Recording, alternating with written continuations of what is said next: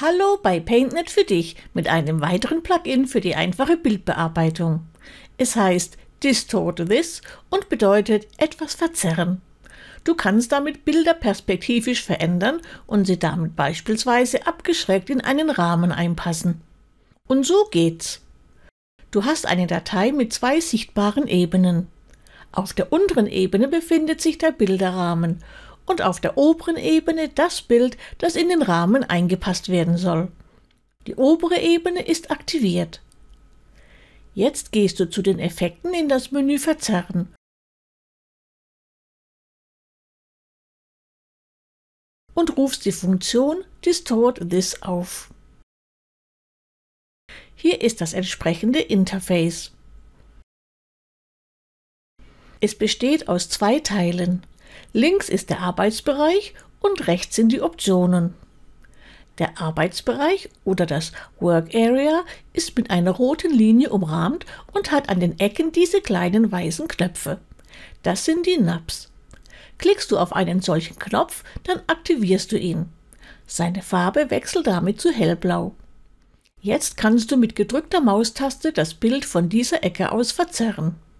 Das machst du mit jeder Ecke so lange, bis das Bild in den Rahmen passt.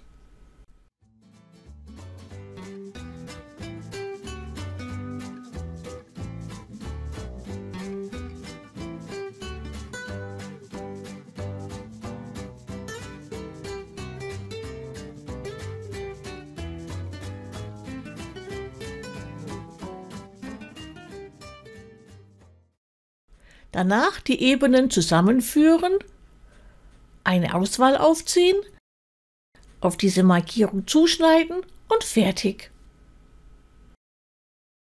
Über die Hilfe zum Plugin gibt es noch drei Hinweise.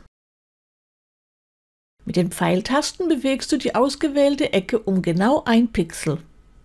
Mit der Tab-Taste springst du zur nächsten Ecke.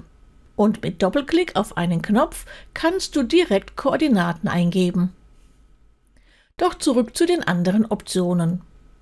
Mit Set Work Area bestimmst du die Arbeitsfläche. Der Mauszeiger wechselt von Pfeil zu einem Kreuz.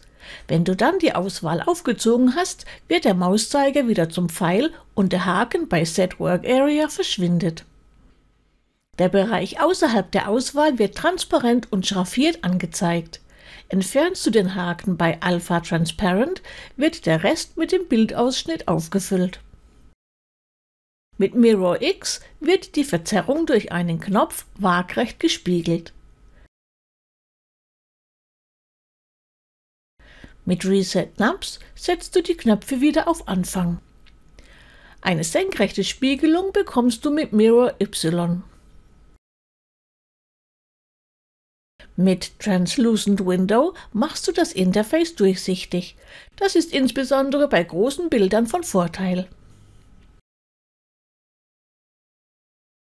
Mit der Forced Perspective, der erzwungenen Perspektive, können optische Täuschungen erzeugt werden. Gerade bei abgeschrägten Kanten ist eine Kantenglättung notwendig. Die kannst du mit diesem Schieberegler unter Anti-Aliasing einstellen.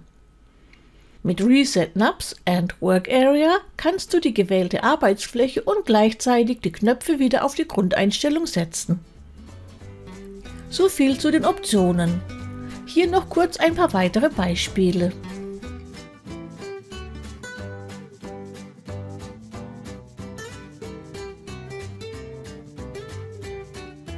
Das war das Plugin Distort This, mit dem du Bilder verzerren kannst.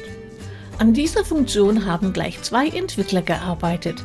Erst Technorobo und dann Tuhe 2001. Deshalb gibt es auch zwei Versionen. In diesem Video hast du die neuere Version 2.8.0 von TUHE 2001 kennengelernt. Das sind die Einstellungen mit der deutschen Übersetzung. Das war's mal wieder. Dankeschön an beide Entwickler und ein Dankeschön an dich fürs Zuschauen. Tschüss bis zum nächsten Plugin in Paint.net.